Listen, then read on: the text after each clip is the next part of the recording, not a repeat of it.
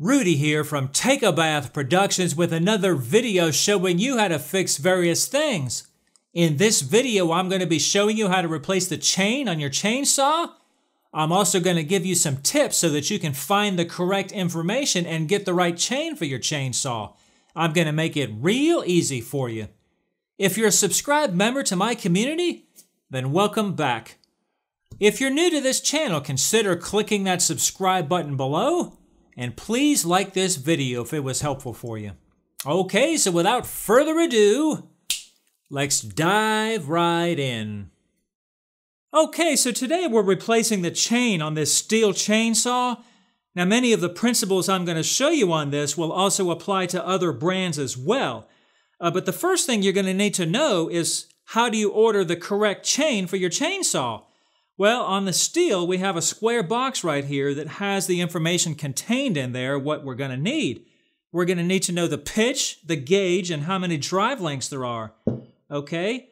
Right here we have a number says 0.325. That's our pitch, okay? Down here we have a number says 74. That's the amount of drive links that we have. And over here we have a number that says 0.063. That's our gauge. You need to know those three numbers. Other brands usually will have this information stamped into the bar somewhere so that you'll know which kind of a chain to get. All right, so real easy to get this bar off of here. You just need one of these kind of tools if you have one. If you don't have one, a three-quarter socket will do the same thing. So it's not a big problem. Just take those two nuts, loosen them, and take them off. And this will take the cover off and also the bar will be loose as well. Now the bar will just lift right out of there like so, just like so. Now before I take the old chain off, I just wanted to show you real quick these cutters. These are cutters right here. Notice they have a little tip that's facing forward. This one's facing forward. These all go forward. This is a very common problem to get the chain on backwards where the cutters are facing to the back and I'm like, you know, my new chain doesn't work very good. Well, this is probably why. So make sure that those cutters are going forward like so. All right, so just very carefully take the chain out of the groove. Now before you put the new chain on, you might want to clean the bar a little bit. All right, so this little hole is where your oil goes in. This is very important.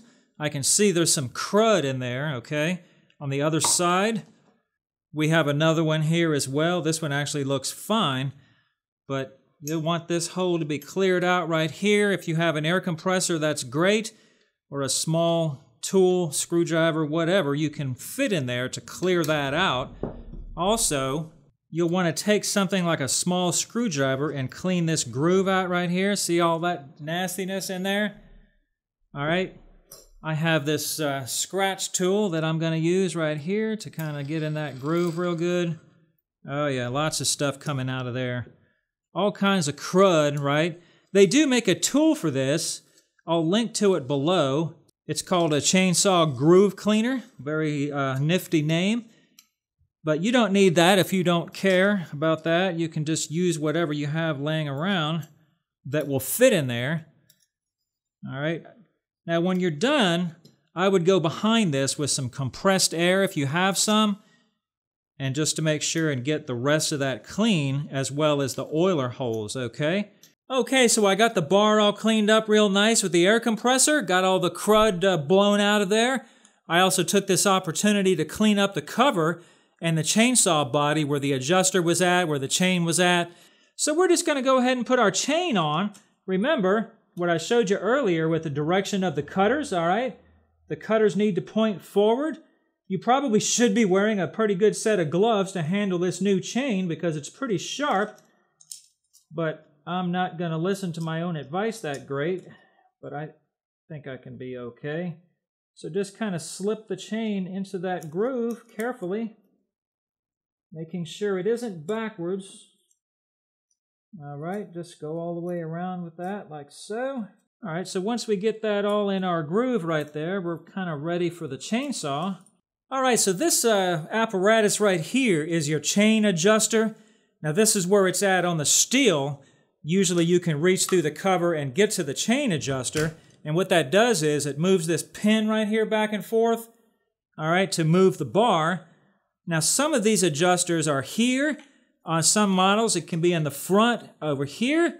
But either way, you're to have an adjuster somehow. Now, when you're putting on your new chain, chances are the old one has stretched, so you're going to need to adjust this this way, all right, towards the chainsaw so that it will be loose enough when you put it on there, like so. That should be enough.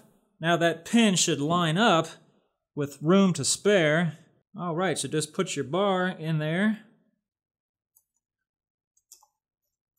See where the adjuster pin is? It had enough uh, give in there. So that pin goes right through here, and that's what moves the bar back and forth to adjust your slack. All right, well, as you can see, I've already cleaned all that up. I've cleaned this one up as well. So just put your cover on, kind of holding the bar up while you're doing that. Just like so. Make sure the chain will turn. I can see it's really loose, but that's okay. That's not a problem. And just kind of get your nuts started on there. What you'll want to do is see how much slack we got. We got a mile of slack there. Let's just get these a little tighter. But not tight. You don't want these tight. Now, what you want to do is tighten your adjuster forward. All right, so we're getting a little better here. All right, so we're getting a little better here, all right? All right, notice that the bar has a little bit of slack in there, right, like that. What you want to do is push that all the way up like so while you're adjusting this, all right? You want to adjust it just about like so. The reason you want to push the bar up is because when you're cutting, this is pushing this way, so that way, so that is up. All right, so yeah, that's, that's about right. That's about good right there. So you have a little bit of snapback right there, right? So just go ahead and tighten these. Like I said, you really should be wearing gloves while you're doing this. I'm kind of wearing gloves, but these aren't that good for uh, sharp chains. There we go. Make sure that's rolling pretty good and smooth. Go ahead and tighten this up a little bit more. Now after you've made your first few cuts, this chain may stretch a little bit and this might start to get loose again. If that happens, just loosen this up, right? Loosen it up so that you got uh, some movement there and just take your screwdriver and just add just a little bit of tension back so that that's tight again. All right, so that's all there is to replacing a chain on one of these things. Hope you enjoyed this video. Thanks for watching.